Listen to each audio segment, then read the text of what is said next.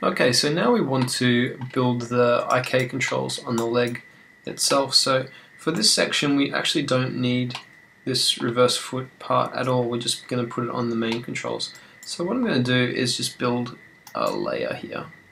And we're going to call this layer, just for now, this is a temp layer, reverse foot layer. Hit save. And we're just going to assign that reverse foot to that into that layer. So add the objects there. This is simply so we can get rid of that and just not have it get in the way because it is difficult with having multiple objects in the same place to see what we're selecting. So what we can do is do that. Now also just for this we don't need the geo showing so we're just going to get rid of that. Now uh, creating the IK is really very simple so what we have to do is just regular IK uh, we go to the skeleton tool and then we can go IK handle tool option box. Now there's a very important switch over here um, which we can see here. Uh, by default it's on SC solver. Now whenever we're putting pole vectors on our IK we always want to use RP solver. So for the first chain we're going to use the RP solver but then for the second two because they're quite simple we're going to use the SC solver.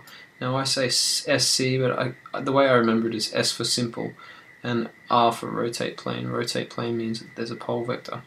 Uh, S for simple solver, so we can just kind of select these. So first of all, we're going to use the RP, which is the one that we use for the pole vectors. So very simple to set up.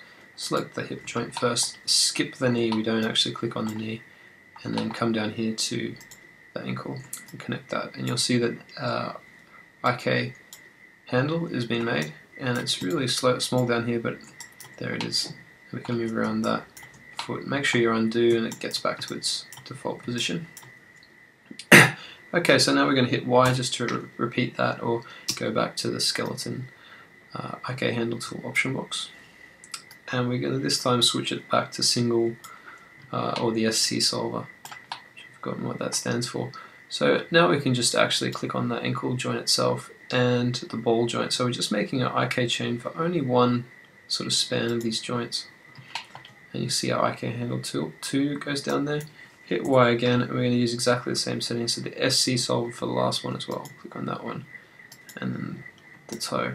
And now we have these three IK handles. Now, if we select them all together and move them around, you can kind of see how this foot is going to work. It's going to work like those joints are always kind of trying to, to seek what's happening there.